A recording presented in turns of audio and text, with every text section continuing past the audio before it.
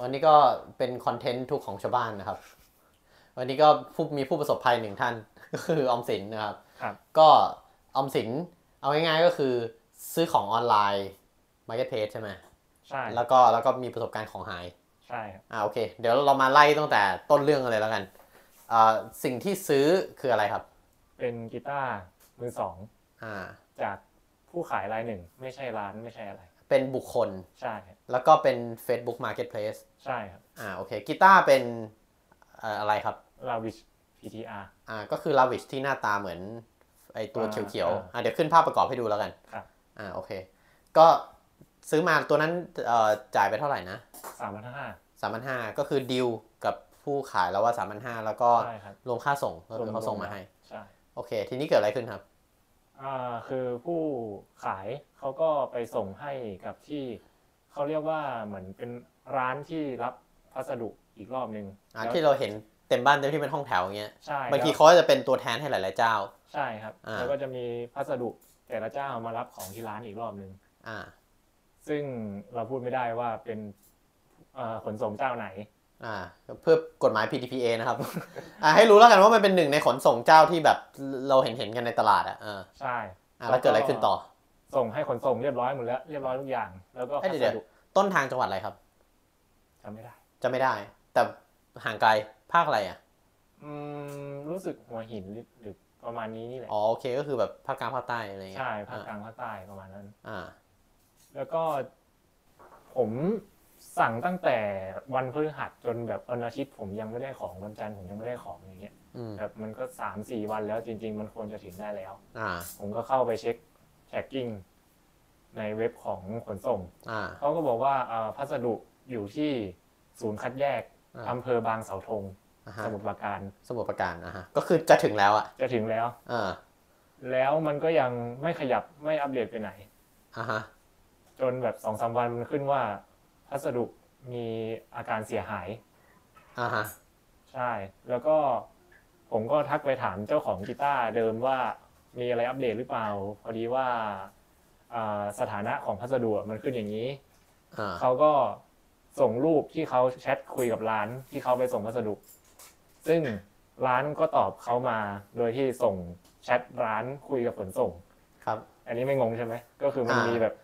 ร้านคือเขาอีกแคปภพหนึ่งแชท ที่ร้านอะคุยไอ้คุยผู้กับขายคุยกับร้านขนส่ง ใช่ มาให้ออมสินดูใช่ครับ อ่ามันจะหลายต่อหน่อย แต่ว่ามันก็เป็นข้อความประมาณว่าสินค้าเนี่ย มันเสียหายกล่องถูกเปิด กล่องถูกเปิดใช่ คือไม่รู้ว่าถูกเปิดหรือว่าเทปมันหลุดหรือว่ายังไง อ่าแต่ว่าเดี๋ยวผมแนบภาพไอ้ที่ตอนที่เจ้าของเดิมอะเขาส่งพัสดุไปก่อน ต่อเขาแพ็คใช่ไหม เข้าแพ็คแน่นหนาระดับหนึ่งผมก็อ่าไม่รู้เหมือนกันว่ามันหลุดได้ยังไงเหมือนกัน อ่าฮะ ใช่ แล้วก็คือสเตตัสมันก็กลายเป็นของชำรุดเสียหายหรือว่าของแบบหาย ใช่แล้วเขาบอกว่ากีตาร์หายของหายเออใช่คือแบบหาไม่เจอว่ากีตาร์อยู่ไหน แต่ว่าไอการหายเนี่ยมันหายในมือของขนส่งแล้วอะถูกไหมเพราะว่าครับของอะถูกรับจากต้นทาง แล้วโดนทานเฟอร์มาถึงบางเสาธงแล้วด้วย ใช่ แล้วมาพบว่าสเตตัสอะกลายเป็นหาย แสดงว่ามันต้องหายระหว่างขนส่งเอหอรือว่าระหว่างที่เก็บก็คือไม่รู้ว่าถึงถึงแบบศูนย์พักแล้วแล้วก็หายในศูนย์อ่า เก็บหรือว่าหายบนรถหรือว่าหายอะไรยังไงโอเค แล้วการจัดการขั้นต่อไปเกิดอะไรขึ้นครับ เอ่อทางขนส่งเขาก็ติดต่อไปยังเจ้าของเดิมว่า สามารถกรอกข้อมูลกรอกอะไรต่างๆ เพื่อเคลมความอ่าความเสียหายเคลมสินค้าได้ ซึ่งได้สูงได้เงินคืนสูงสุด 2,000 บาท 2,000 บาทสามพันห้านี่ไม่ใช่เหรอใช่ อ่า โอเค แล้วแล้วเจ้าของก็ทำไหม คิดว่าทำคิดว่าทำเพราะว่าเขาไม่อยากไปแจ้งความเขาบอกว่าไม่มีเวลาเท่าไหร่ โอเค คือตอนแรกเขาจะขอดูกล้องวงจรปิดที่ที่นั่นด้วย แต่ว่าจำเป็นต้องมีใบแจ้งความไปด้วย โอโอเค แต่ว่าออมสินได้ตังค์คืน ใช่ครับ เจ้าของเขาก็โอนมาคืนให้ อ่าก็คือเจ้าของก็ดีก็คือแบบรู้ว่าคนซื้อไม่ได้ของของเสียหายเขาก็โอนมาให้ก่อนแล้วเดี๋ยวเขาเข้าไปจัดการเคลมกับขนส่ง ครับแต่ทีนี้เรื่องมันก็จบแค่นี้ใช่ไหมไม่มีอัปเดตอะไร หลังจากนั้นก็คือแบบใช่การการสื่อสารกับตัวเจ้าของก็คือก็คือจบประมาณนี้ใช่ครับ แล้วก็ผมตามกับตัวเว็บขนส่งเองหรือว่าตามอะไรในฐานะผู้รับเองอะอืมก็ได้คำตอบมาเหมือนกันว่าให้ไปกรอกแบบฟอร์มเคลมอะไรประมาณนี้เหมือนกันโอเคอะทีนี้แบบถ้าเหตุการณ์มันมีเท่านี้เราวิเคราะห์ได้ไหมว่าแบบ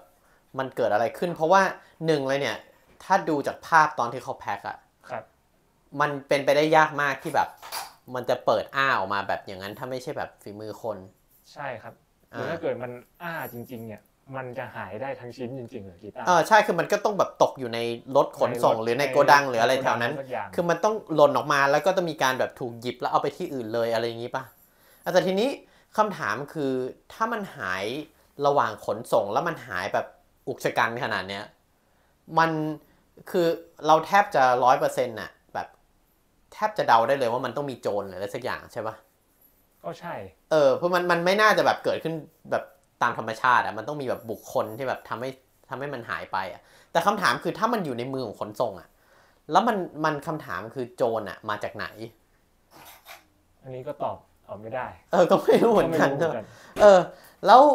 จริง ๆ แล้วคิดว่าขนส่งแบบควรจะมีควรจะมีแบบวิธีที่เยียวยาแบบได้ดีกว่านี้หรือแบบมีมีปฏิกิริยาที่แบบแสดงความรับผิดชอบมากกว่านี้นิดนึงไหมคือแบบมันไม่ได้ใช่ว่าของหายแล้วชดใช้แต่แบบ มันหายในในแง่ที่มันแบบมันดูรุนแรงมากเลยอะมันดูแบบหายแบบโดนเอาไปจากโกดังระหว่างขนส่งหรืออะไรอย่างนี้เลยใช่ไหมคือมันอาจจะเป็นเกี่ยวกับเรื่องสัญญาก่อนขนส่งก็ได้ ที่มันจะมีแบบ จ่ายเพิ่มอีกร้อยหนึ่งเพื่อซื้อแพ็กเกจแชร์แบบประกันของหายของเสียหายอะไรอย่างเงี้ยใช่แต่ว่าถ้าเกิดจ่ายราคาธรรมดาจะไม่มีประกันอะไรอ่าแต่นี่มันไม่ได้เสียหายด้วยอุบัติเหตุอะผมดูจากภาพการนะมันเหมือนเสียหายด้วยแบบโจรอะมันหายไปเลยอะใช่ปะใช่เออเพราะฉะนั้นก็ไม่รู้เรื่องนี้เป็นอุทาหรณ์ให้กับใช่หลาย ๆ คนว่าก็ระวังแล้วกันนะครับ ส่วนครับขนส่งมันพูดไม่ได้ ถ้าใครอยากทราบก็ไม่รู้ไปติดต่อออมสินเอาเองให้ออมสินเล่าให้ฟังนอกรอบก็ได้นะครับ เออ แต่ว่าคือถ้าถ้าฟังแบบนี้มันก็ดูแบบ มันดูแบบปกติคือเราส่งของกันอะเราไม่เราไม่เคยผมไม่เคยเจออะไรที่แบบขนาดนี้คืออย่างมากก็คือเสียหายแบบคอหัก ใช่คือถ้าเกิดเสียหายผมยังยอมรับได้เออมากกว่านี้ ใช่แต่นี่มันคือแบบหายใช่คือแบบหายไปทั้งตัวแล้วเหลือกล่องไว้ให้ดูต่างหน้าด้วยนะ คือแบบไม่ได้แบบเอากล่องไปอืมเออแบบหายไปแบบแกะแล้วก็เอาแค่กีตาร์ไป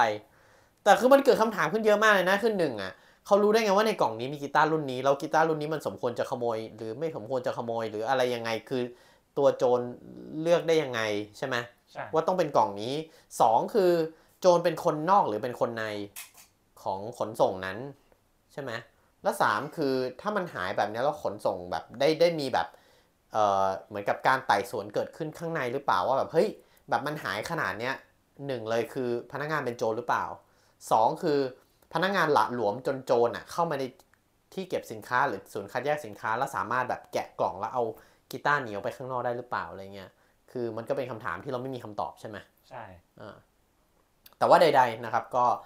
เหตุการณ์ก็เกิดขึ้นประมาณหลายอาทิตย์ที่แล้วอาทิตย์ที่แล้วอ่าแล้วตอนนี้ก็ยังไม่มีอัปเดตใด ๆ ก็คือฝั่งเจ้าของเขาก็คงไปหาวิธีเคลมใด ๆ กับค่าเสียหาย แต่ว่าก็เป็นอุทาหรณ์ไว้แล้วกันว่า มันมีอะไรแบบนี้เกิดขึ้นได้ใช่ไหมครับ ใช่ครับ โอเคเนี่ยแหละทุกข์ของชาวบ้านแต่จริงๆก็ไม่ได้ทุกข์เท่าไหร่เพราะได้ตังค์คืน แต่มันก็เฟลไงอ่าโอเคเสียอารมณ์อ่าใช่มันก็เสียอารมณ์เหมือนเราแบบ อุตส่าห์จะได้แล้วอะไรเงี้ยใช่แล้วอยู่ๆโจรมันก็เอาไปอืมเพราะฉะนั้นถ้าใครท่องเที่ยวใน Marketplace แล้วเห็นไอ้ตัวเนี้ยโพสต์ขึ้นขาย ก็ผมไม่ได้บอกหรอกว่ามันเป็นตัวนี้นะ แต่ว่าคือแบบมันก็มีการเกิดขึ้นช่วงเนี้ยคือผมเข้าใจว่าตัวนี้มันก็ซื้อขายกันเรื่อยๆใช่ไหมรุ่นนี้ไม่ใช่ตัวเนี้ยเออ แต่ว่าก็